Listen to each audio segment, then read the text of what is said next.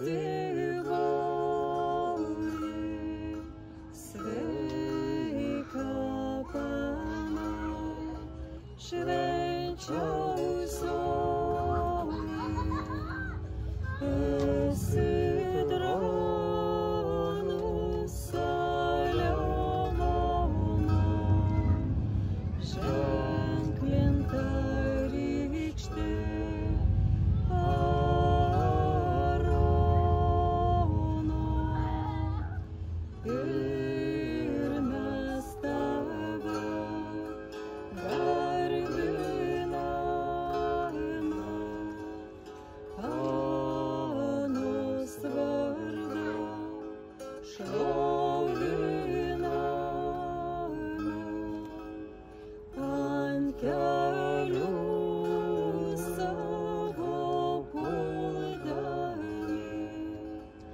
prašom tavo jos vargdami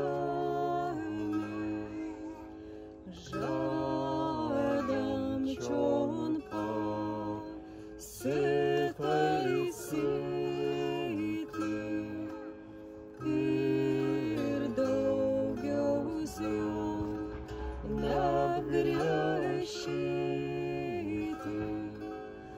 so soon.